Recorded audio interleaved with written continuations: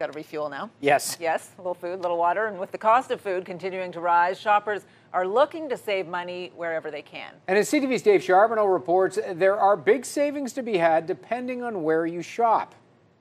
Amy Simpson shops at Dollarama at least once a week. So I can get the same food for half the price. She says food prices at places like Loblaws are just way too expensive. I like chips, but I refuse to pay the independent prices. So I go to the Dollarama for the junk food that I don't quite want to pay full price for. Here at Loblaws, some items could cost double what they cost at Dollarama. I'm willing to try Dollarama because I am I have been going to Giant Tiger, Walmart, and I am willing to try something else as well if it's going to be cheaper. So we put that to the test and compared identical items sold at both locations.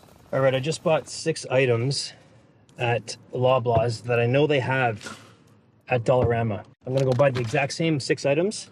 We're gonna see what the price difference is. Here's the six items I bought from Loblaws, and these are the exact same six items I bought at Dollarama. Chunky soup, $3.29 versus $3. Salad dressing, $4.49 versus $3. Tomato sauce, $2.49 versus $2. Rice, $2.49 versus $1.75. Gatorade, $2.49 versus $1.25. And a one liter bottle of Diet Pepsi, half the price at Dollarama. So for Loblaws, we have a total of $17.82. And for Dollarama, it's a total of $12.19.